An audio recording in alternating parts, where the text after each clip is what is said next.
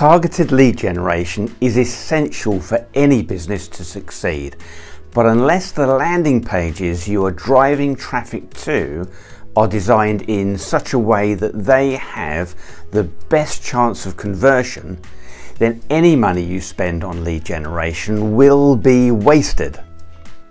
If you've got PPC campaigns running now and you're sending traffic to poorly constructed landing pages, then you're almost certainly paying more for your clicks than you should be.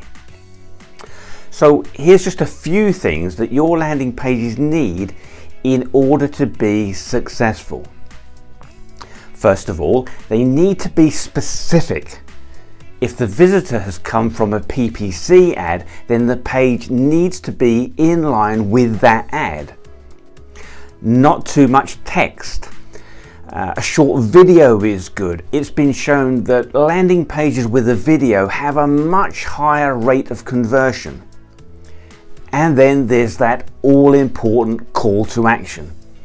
You should have some sort of sign up form. You want to capture their details so that you can engage with them further. So there we are. That's the basics of a landing page. And remember that the point of having a website at all is to get customers.